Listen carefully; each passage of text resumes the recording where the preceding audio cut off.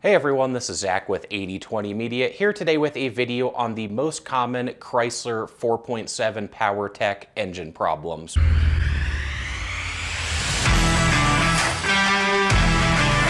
The Chrysler 4.7 liter V8 PowerTech engine was produced from 1999 up until 2009 and is found primarily in Dodge and Jeep models, including the Ram 1500, Dodge Durango, and the Jeep Grand Cherokee. This engine offers anywhere from 235 to 265 horsepower, as well as 295 to 330 foot-pounds of torque. With that said, we'll just go ahead and jump straight into some of the most common problems and failures on the 4.7 liter PowerTech. Number one on the list, we have issues with the head gasket. So head gasket failure is something that a lot of different cars and engines are prone to as they get older and have higher mileage, especially once you get to that 10 plus year old at 120,000 plus mile ballpark. Head gasket failures become much more common on a lot of vehicles just due to normal wear and tear. And that is also the case with the 4.7 PowerTech. However, that's further further exasperated by the fact that the 4.7 liter V8 doesn't have the strongest head gasket around, and the head gasket is one of the more well-known and discussed issues with the 4.7 PowerTech. If an engine is allowed to overheat excessively or for extended periods of time, that almost always leads to issues with the head gasket, and that is very much the case with the Dodge and Chrysler 4.7 PowerTech engine. It is very prone to head gasket failure when it overheats, and so that's really one of the big things things to be on the lookout for with the 4.7 PowerTech. Some engines are able to withstand brief or minor overheating. However, it seems like the 4.7 PowerTech is just not very good at handling the overheating when it comes to the head gasket. So again, something to be on the lookout for. If you do notice that your 4.7 liter V8 is starting to overheat, then go ahead and try to pull over at a safe location and shut down the engine as soon as possible, since any overheating can lead to a very sudden failure of the head gasket. That leads us into our second common problem, and that is issues with the cooling system. The cooling system on the 4.7 liter PowerTech is certainly not one of its strongest points. There are a number of issues and failures known within the cooling system. However, nothing is really more common than any other one cooling system issue. Instead, there are a couple different problems with the cooling system. The radiator, the water pump, and some coolant hoses are a few of the weaker points on the 4.7 liter PowerTech. So if you run into any of those issues, and this really ties back into the head gasket failure. These head gaskets are relatively weak and not great at withstanding any overheating. So if you have any problems with the cooling system, it's again important to pull over as soon as possible in a safe location, shut down the engine and get it towed rather than letting the engine run or trying to stretch and drive it a few more miles to a repair shop. That could be the difference in the head gasket surviving and having no issues and the head gasket failing. So again, something that's very important to be aware of and pay attention to on the 4.7 liter V8. Moving on to common problem number three, we have valve seat failure. Valve seats are responsible for sealing the intake and exhaust valves to the cylinder head. When a valve seat fails, that will essentially prevent the intake or exhaust valve from fully seating, which will ultimately lead to a non-airtight combustion chamber, and that ultimately means a loss of compression, which can cause a number of significant drivability issues, including miss misfires, rough idle, power loss, among many other symptoms and drivability issues with a valve seal issue. So as with the head gasket, failures of the valve seats often are attributed to issues with overheating in the cooling system. So this is another important reason why you should pay attention to cooling system issues and make sure those are addressed as soon as possible and you're paying attention to engine temperatures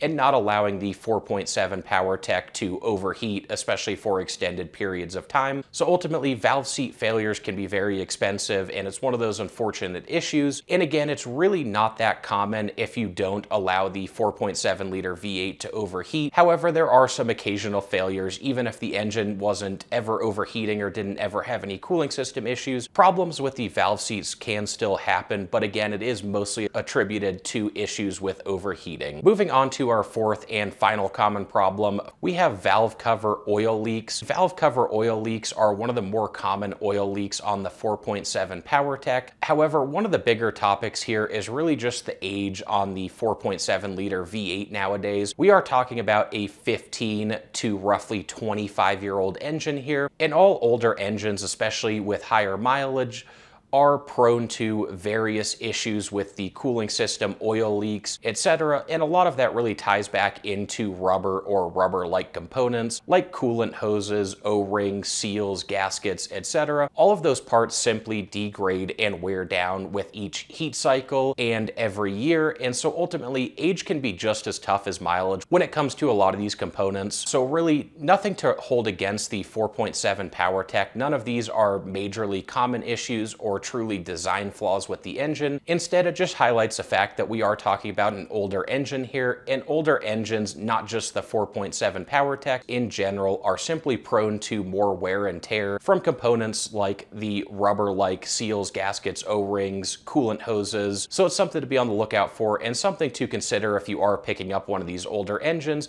that it is going to require a little more TLC maintenance and repairs compared to a newer car and engine. So that wraps up our four most common problems for the Chrysler 4.7 PowerTech. In summary, I would give this engine average remarks for reliability. It's not the most reliable engine out there, but it's also far from being unreliable or among the least reliable engines out there. Ultimately, the valve seats as well as the head gasket are two issues that kind of bring the 4.7 liter PowerTech down a little bit, and those issues are primarily attributed to the cooling system and the vehicle and engine overheating. So again, pay attention to that, make sure you're not allowing the engine to overheat and don't have any problems with the cooling system and in most cases the head gasket and valve seats will not be an issue. Outside of that, otherwise, there are really just some age-related issues with the 4.7 PowerTech now being a 15 to 25 year old engine. Things like the valve cover gaskets and any other rubber-like components, gasket seals, O-rings, etc. are simply wear and tear items that are more prone to issues with age and mileage. Anyway, guys, that wraps up our video for today. If you appreciated the content, please hit that like button, subscribe to the channel, and stay tuned for more.